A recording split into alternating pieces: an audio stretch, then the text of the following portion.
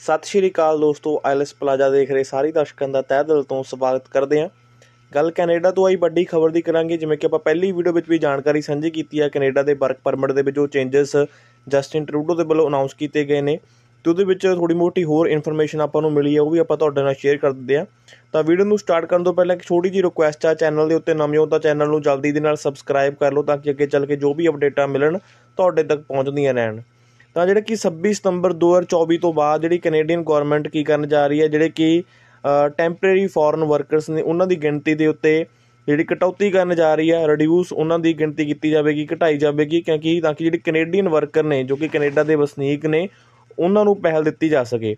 ਤੇ ਇਸ ਤੋਂ ਬਾਅਦ 26 ਸਤੰਬਰ 2024 ਤੋਂ ਬਾਅਦ ਲੇਬਰ ਮਾਰਕੀਟ ਦੇ ਵਿੱਚ ਜਿਹਨੂੰ ਆਪਾਂ ਐਲਐਮਆਈ ਕਹਿ ਦਿੰਦੇ ਆ ਉਹਦੇ ਵਿੱਚ ਜਿਹੜੇ ਖੇਤਰਾਂ ਦੇ ਵਿੱਚ ਜਿਹੜੀ ਅਨਇੰਪਲੋਇਮੈਂਟ ਰੇਟ 6% ਆ ਜਾਂ 6% ਤੋਂ ਜ਼ਿਆਦਾ ਗਈ ਉਹਨਾਂ ਇਲਾਕਿਆਂ ਦੇ ਵਿੱਚ ਜਿਹੜੀ ਐਲਐਮਆਈ ਆ, ਉਹ ਨਹੀਂ ਦਿੱਤੀ ਜਾਵੇਗੀ।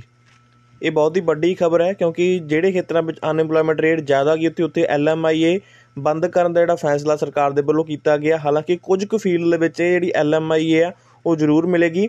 ਤੇ ਨਾਲ ਦੀ ਨਾਲ ਜਿਹੜੇ ਕਿ EMPLOYER ਨੇ, ਜਿਹੜੇ ਮਾਲਕ ਨੇ, ਉਹ ਕੇਵਲ 10% ਹੀ ਜਿਹੜੀ ਵਰਕਫੋਰਸ ਆ, ਉਹ ਟੈਂਪਰੇਰੀ ਫੋਰਨ ਵਰਕਰ ਜਿਹੜਾ ਪ੍ਰੋਗਰਾਮ ਆ, ਜਿੱਥੋਂ ਕਿ ਬਾਹਰੋਂ ਬਾਹਰਲੇ ਦੇਸ਼ਾਂ, ਬਾਹਰਲੇ ਮੁਲਕਾਂ ਵਿੱਚੋਂ ਕਾਮੇ ਮੰਗਾਏ ਜਾਂਦੇ ਆ, ਉਸ ਪ੍ਰੋਗਰਾਮ ਦੇ ਅਧੀਨ ਮੰਗਾ ਸਕਦੇ ਯਾਨੀ ਕਿ ਜੇ ਉਹਨਾਂ ਨੂੰ ਇੱਕ EMPLOYER ਨੂੰ 100 ਬੰਦਿਆਂ ਦੀ ਲੋੜ ਆ, ਤਾਂ 10 ਬੰਦੇ ਹੀ ਟੈਂਪਰੇਰੀ ਫੋਰਨ ਵਰਕਰ ਪ੍ਰੋਗਰਾਮ ਦੇ ਅਧੀਨ ਬੁਲਾਏ ਜਾ ਸਕਦੇ ਯਾਨੀ ਕਿ ਉਹ 10 ਲੋਕਾਂ ਨੂੰ ਹੀ ਐਲਐਮਆਈਏ ਦੇ ਸਕਦਾ।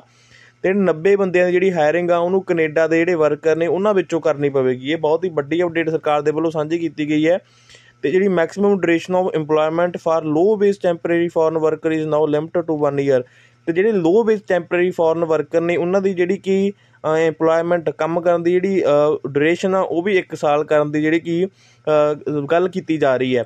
ਬਾਕੀ ਹੋਰ ਕੋਈ ਨਵੀਂ ਅਪਡੇਟ ਆਉਂਦੀ ਹੈ ਚੈਨਲ ਦੇ ਉੱਤੇ ਸ਼ੇਅਰ ਕਰਾਂਗੇ। ਧੰਨਵਾਦ ਜੀ ਸਾਰਿਆਂ ਦਾ।